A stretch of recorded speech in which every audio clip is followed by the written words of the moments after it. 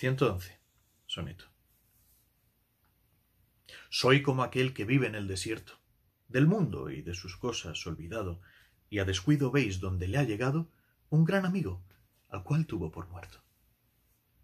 Teme luego de un caso tan incierto, pero después que bien se ha asegurado, comienza a holgar pensando en lo pasado, con nuevos sentimientos muy despierto. Mas, cuando ya este amigo se le parte, al cual partirse presto le conviene, la soledad empieza sella y nueva.